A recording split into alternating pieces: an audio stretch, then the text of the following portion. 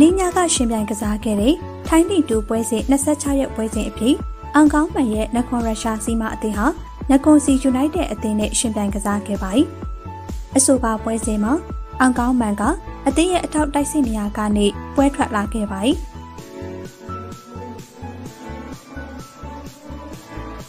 အောင်ကောင်းမှန်ရဲ့အသင်းပိုင်ရှင်ဟာမြန်မာပြည်သက်များအတွက်ကွင်းဝင်ကြီးအခမဲ့အစီအစဉ်ပေးခဲ့ပြီးအဆိုပါပွဲစဉ်မှာပြည်ပရောက်မြန်မာပြည်သက်900ကျော်ကအန်ကောင်းမှန်ကိုလာရောက်အားပေးခဲ့ကြောင်းလည်းသိရပါတယ်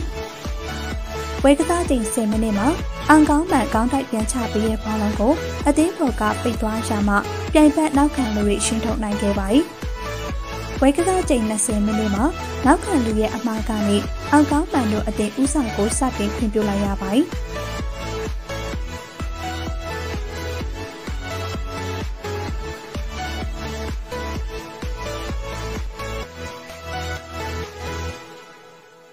ပွဲကစားချိန်34မိနစ်မှာအသင်းကိုရနိုင်မဲ့အကောင်းဆုံးအနေအထားကိုပြိုင်ဘက်နောက်ခံလူဟန်တားရမှပြစ်ဒဏ်ကျူးလွန်ခဲ့ရတဲ့ပတ်သက်ပြီးအန်ကောင်းမှန်နဲ့တစ်ဖက်ကစားသမားတို့အခြေအတင်ဖြစ်ခဲ့ပါသေးတယ်။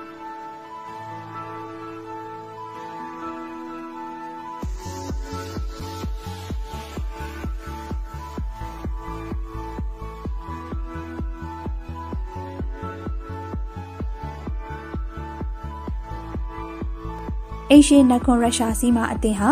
ပွဲကစားချိန်89မိနစ်မှာမှခြေပါကိုပြန်လည်ရရှိခဲ့ပါတယ်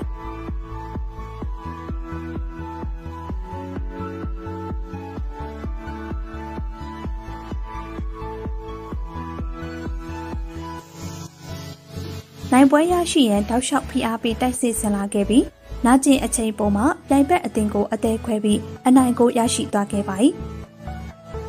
မနေ့ကရှင်ပြိုင်ကစားခဲ့တဲ့ပွဲစဉ်မှာမြန်မာပြည်သက်900ကျော်လာရောက်အားပေးခဲ့တဲ့အောင်ကောင်းပိုင်ရဲ့အသင်းကတရားထိတ်ကပြိုင်ဘက်နခွန်စီယူနိုက်တက်အသင်းကိုနှစ်ကိုတကိုးပြစ်အနာရရှိသွားခဲ့ရပြီဖြစ်ပါတယ်။ကြည့်ရှုအားပေးတဲ့အတွက်အားလုံးကိုကျေးဇူးတင်ပါတယ်။